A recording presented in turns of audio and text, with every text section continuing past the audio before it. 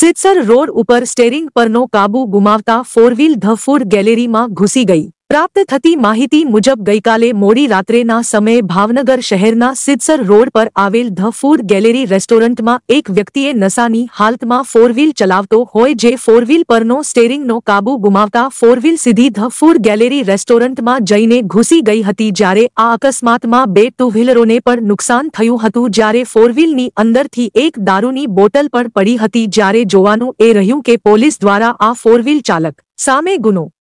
નોંધીને કાર્યવાહી કરવામાં આવે છે કે પછી આવા નશાની હાલતમાં રખડતા લોકોને ખુલ્લેઆમ મેકી દેવામાં આવી રહ્યા છે.